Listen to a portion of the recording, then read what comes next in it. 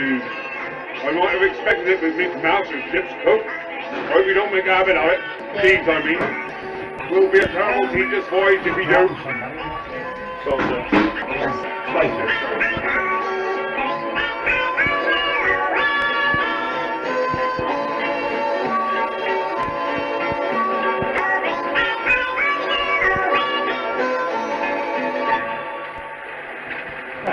you. That's it, boy. That's what I like to hear. Something nautical. That's more my kind of music. All right, lads. The big turkey pipe all hands to my cabin.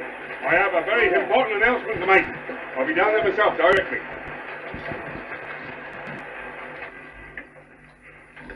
Ah, here we are. Here we are. All present and correct, except for that new galley boy. Well, this ain't for his ears. And it ain't for old Pepper's ears either. That's why I sent him up on the bridge, so he shan't be able to hear what I'm out to tell him. You know what parrots are for repeating things? Well, I expect you two are wondering why I signed you on to this particular trip, eh?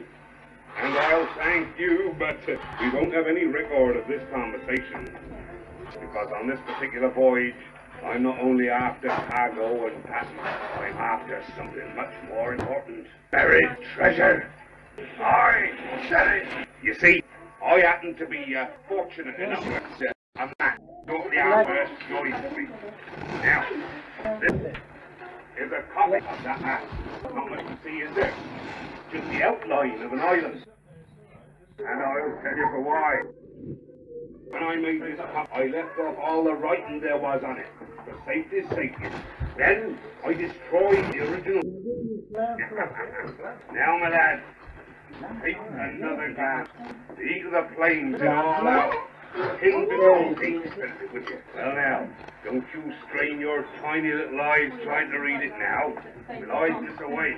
I did specially made for it just recently. There we are. Now let's. After New Orleans, we'll head for Tampico. That's in the Gulf. And after the Gulf, we'll go up to San Francisco. And after San Francisco, we'll head for the Hawaiian Islands. And there we'll find one particular island. Alligator Island. And there we'll get that treasure. And nothing and nobody is gonna stop us.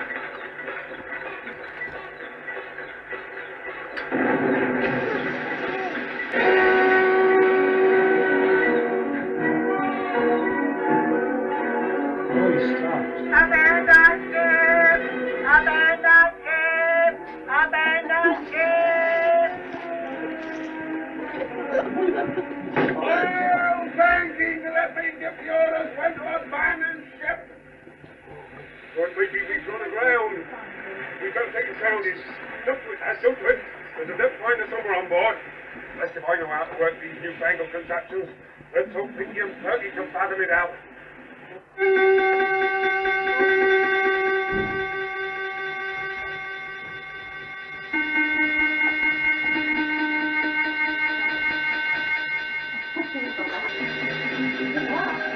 Play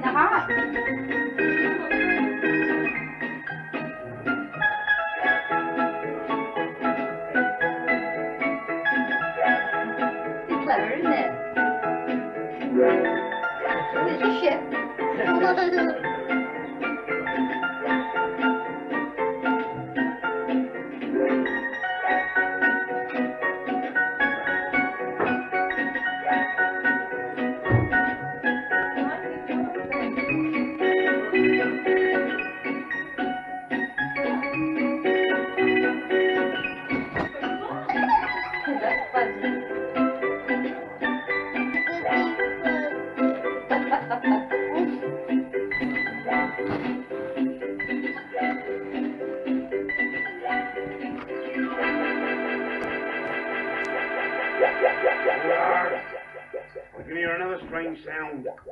I'm just getting nearer.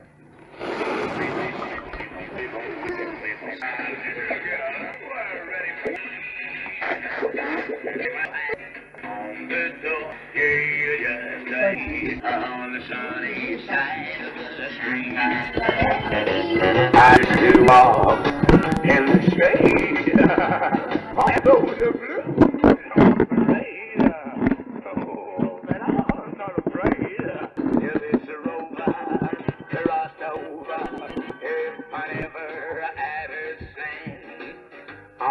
I'll be rock and roll. Yeah, go dust at my feet on the sunny side of the boomby, boomby, boomby, boomby, boomby, boomby, boomby, boomby. I used to walk in the shade. I had, uh, I had those uh, blues on parade, but I'm not afraid. Uh, for this rover, it flew right over if I never had a sin. I'll be rich as Rockefeller. You go just have my feet on the sunny side of the boomby, boomby, boomby, boomby, boomby, boomby, boomby, boomby, boomby, boomby, boomby, boomby, boomby, boomby, boomby, boomby, boomby, boomby, boomby. Sounds like that walrus got a touch of the rusties. I shouldn't have thrown that cheese sandwich in, only attracts them. Well, me and the chief have found out what the trouble is. We hadn't run aground after all. We burst the boiler. That reminds me. How are you doing down below?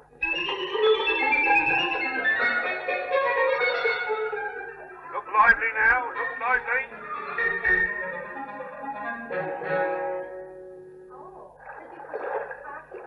Won't be long now. And once we got steam up again, we'll be sailing way down yonder to New Orleans.